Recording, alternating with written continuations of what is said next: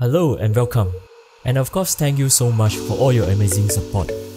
As some of you might know, I've been uploading my painting videos in this channel for a few years now. One comment that I always receive is regarding the brushes that I use in my paintings. You see, most of the brushes that I use are not free. Some of them are brush packs that are sold online, while others came with the books that I purchased.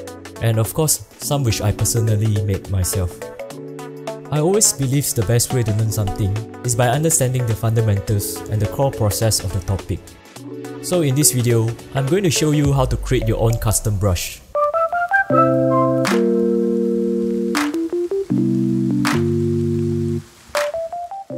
I'll be using Photoshop in this tutorial, but the basic idea of creating custom brushes should be similar with other painting softwares.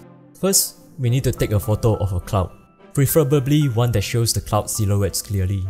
I find it is best to take the cloud photo in a bright sunny day, as the contrast between blue sky and white cloud will greatly help in the next step. Let's select part of the cloud that we want to convert to a brush. Press Ctrl C to copy them to the clipboard. Then, open a new document and set the size to be around 512 x 512 pixels. Press Ctrl V to paste the copy photo into the new document. If the selected photo is still too large, scale down by using the transform tool. Next, we will desaturate the photo into a black and white image. Through the menu options, Image, Adjustment, Desaturate. Because black is opaque and white is transparent for brushes, we need to invert the photo by going to Image, Adjustment, Invert then adjust the contrast by using either the curves tool or the levels tools. Adjust the photo so the cloud is near black and the background is fully white. It is important to make sure the background is pure white, as any shade of grey as a brush will produce semi-transparent pixels. Once we are satisfied with the result, go to Edit, Define Brush Preset under the brushes tab, we'll see the new brush tip shape we just created. But this is still a brush without any settings. Currently, it will work more like a stamping tool. So go to brush settings and enable shape dynamics. Size jitter option will randomize the brush tip size as we paint. Choose pen pressure for control, which lets us control the brush size via pen pressure. Minimum diameter option will ensure a minimum size for the brush tip. So let's increase it a little bit as we don't want our cloud to be too small. Angle jitter will randomize the brush tip rotation. So we just want to increase this value slightly to add some variation to our brush. I usually leave the control option off for angle. But you can try to enable them by using direction or initial direction.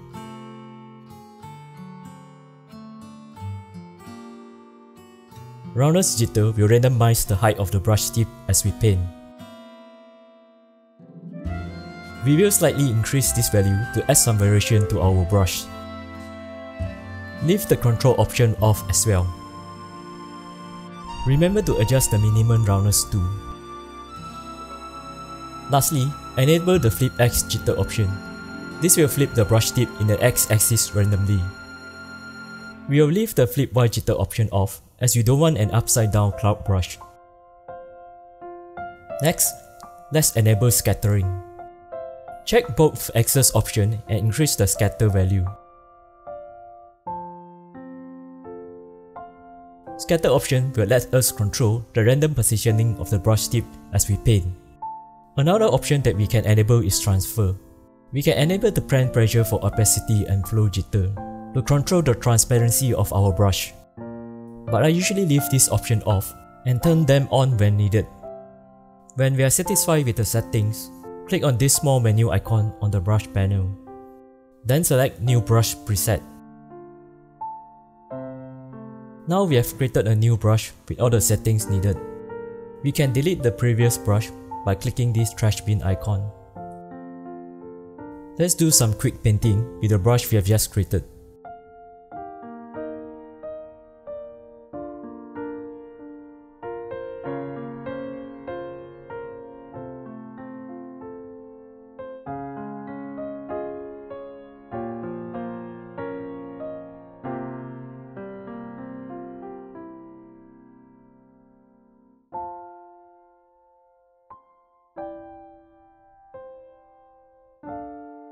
You might be wondering on how to create other types of brushes, such as a leaf brush. Well, the steps are very similar. Copy and paste the photo in a new document. Desaturate the photo. In this case, we don't want to invert the photo, as the leaves are already black and the background is white. So, let's just adjust the contrast to make sure the background is pure white. Because I only crop a part of the photo, I'm going to need to make some adjustments to make it a complete brush without any cut edge.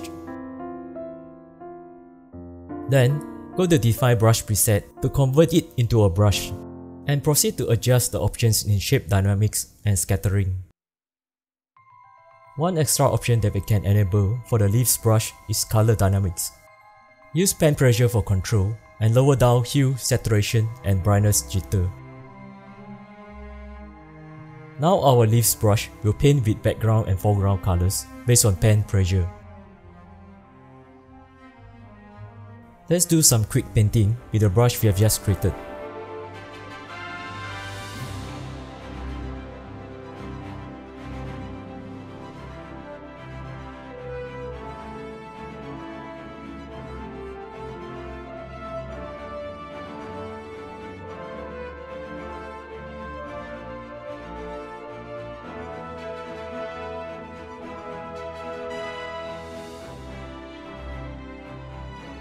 Here's another example of cloud brush which I created using the same method. Convert the photo into a black and white image and invert the color. Adjust the contrast so the background is pure white. Then make it into a new brush preset with custom settings. A round cloud brush like this is good for painting summer cumulus clouds. Here are some artworks that I have done.